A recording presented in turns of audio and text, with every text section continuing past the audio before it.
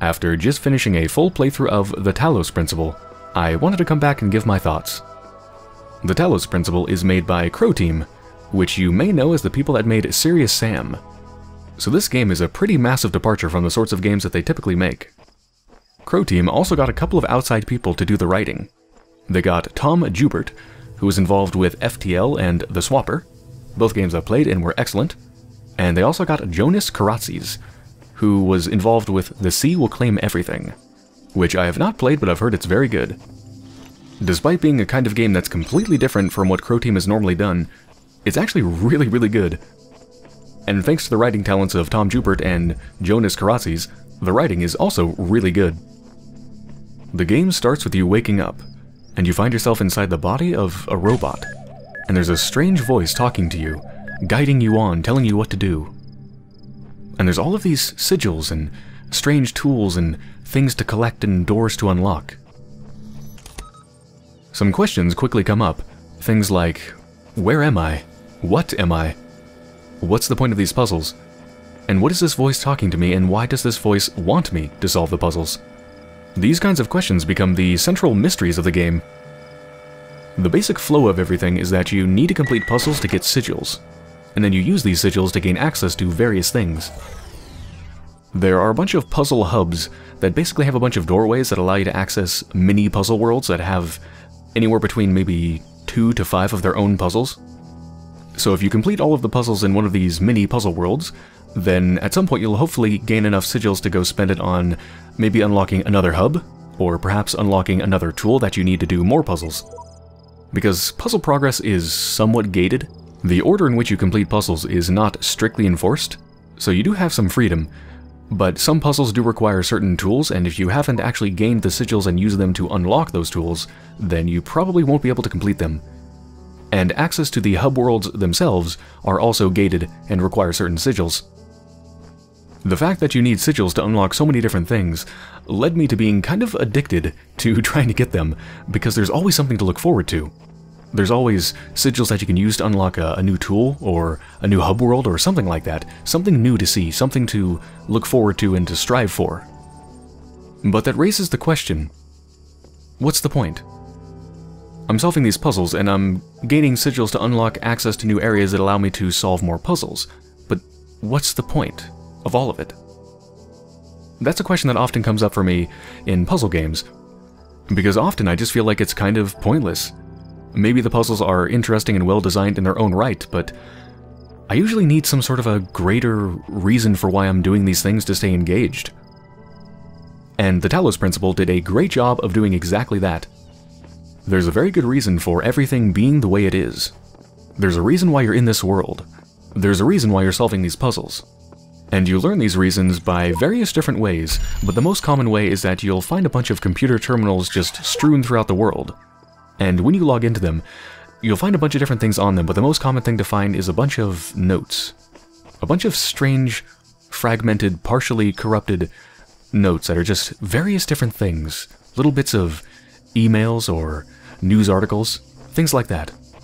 I ended up reading a bunch of these strange and out of context and partially corrupted pieces of information. But as I kept playing and as I kept discovering them, they all just started to really come together. And they just kept bringing the world to life, just little bit by little bit. Through these notes, and various other things that happen that I don't want to spoil, the question arises of consciousness of artificial intelligences. And that is a central question that comes up in this game. It's a central theme, if you will. The question of can artificial intelligences be truly independent? Can they be a person? Can intelligence be artificially simulated to such a degree that it's not actually artificial? These sorts of questions are explored to a surprising amount of depth through various notes that you find and also interactions that you have with other entities. The exploration of these sorts of topics is something that I find very interesting, and I really wish more things explored them. So on top of wanting to solve puzzles to get sigils to gain access to solving more puzzles, I also wanted to gain access to these computer terminals to learn more about the story. And something that I want to stress because I feel like it's not nearly as common as it should be, is that the story is very much connected to everything else that happens in the game. So it's not one of those games where the story is kind of a a strange thing that's just sprinkled on top and you can kind of ignore it and it doesn't really matter, where it just feels like fluff. The story and the game actually form a coherent whole. But there's actually more than even that that made me want to keep pressing on, and that's to find the various stars that are cleverly hidden around the levels. So these stars are all over the place, usually very well hidden and very hard to access. And the stars are more than just a kind of collectible that you can look at and say, ooh look, I ticked off a box. It's more than just that. These stars are actually used to gain access to something in the game, and they're very well hidden. So to find these stars, you have to basically look for ways to kind of break the level. You have to try to think, where could something maybe be hidden? So I would find myself constantly going into puzzle rooms and just thinking to myself, where might they hide something? Maybe there'd be a wall, and it looks like there's a lot of room behind it. And there's no normal way in the puzzle to actually get behind that wall, so I would think, maybe there's something I can jump up on to get behind it, and perhaps there's a star behind it. So there's this constant mind game of looking around the environment for places that they might hide stuff, and trying to think of ways to break the level to get up on geometry that you're not really supposed to normally get up on, and just constantly trying to find ways to break everything in the levels. And it was really fun. And there's more than just stars to find too, there's also dozens and dozens of Easter eggs. They're just all over the place. Tons of references to Serious Sam, other games, anime, just all sorts of stuff. So when you put it all together, throughout the entirety of the game I was always excited to play because there was always something to look forward to. I could complete more puzzles to get more sigils, which gives me access to more hub worlds, which gives me access to more puzzles, which gives me access to more terminals, which tells me more about the story that's really fascinating and I loved reading about it, which gives me access to more places to look around for stars and try to break the levels to look for easter eggs and it's just like a just a constant onslaught of there's so much to do and it's so fun. It's one of the very few games where I can say that towards the end of my 40 plus hour playthrough, I was just about as excited to play it as I was at the beginning. That's a very hard thing to do. When a game is so long, 40 plus hours, it's really hard to keep it fresh. But they actually managed to do exactly that. But that's not to say that the game maintained a consistent quality throughout the whole thing. I have to admit, really my only major complaint about it is that, towards the end, the puzzles do get less interesting. And the reason for that is that the puzzles start to get a bit stagnant. The beginning of the game really doesn't have this problem because it constantly introduces new tools to you at a very high rate. So there's always new mechanics to learn and new interactions to get to grips with. But the further you get in the game, the kind of more spaced out these tools are. And so you end up with long stretches where there's no new tools to work with. And so, during these stretches, the puzzles become a bit repetitive really.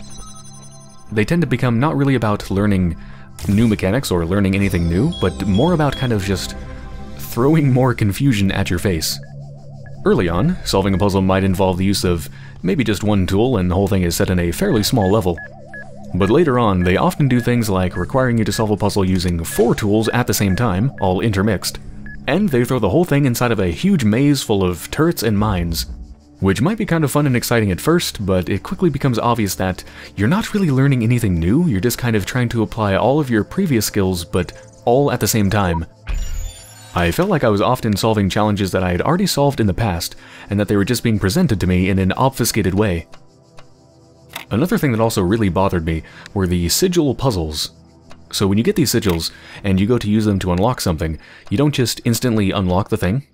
You have to do a little puzzle where you basically configure these variously shaped sigil puzzle pieces, and you have to find a way to fit all of them inside of a certain shape.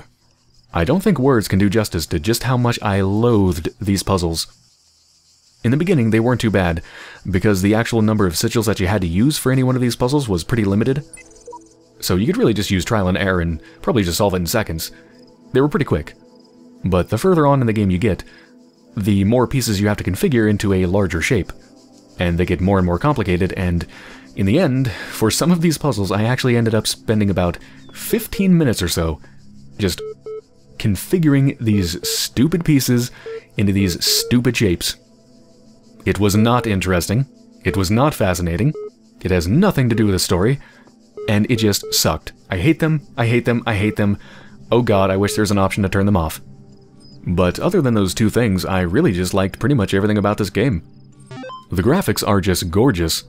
There's a lot of variety in the kinds of environments that you get to visit, and all of them are just beautiful and so well detailed. For any one of them, you can just stop and stare at a tree or stare up at the sky and just listen to the sound of the music and the wind. Which reminds me, the sound design is also wonderful. Every environment has its own particular set of sounds that just perfectly fits it. If you find yourself on a lush island, then you might hear the sounds of the water lapping against the shore, the wind, birds. You can really just close your eyes and picture everything. So, without getting into any major spoilers, I think that's about all I can say. It's a beautiful looking and sounding game, with a really fascinating story that's well integrated with the rest of it. The puzzles are generally very good, and anytime they're not, there was always something else that would keep propelling me forwards and make me want to continue. It was a really engaging experience. I just always wanted to come back to solve another puzzle, or find another terminal and learn more about the story, or try to break another level to find some weird solution that they never intended. It was just a really great experience and one of the most enjoyable games I've ever played.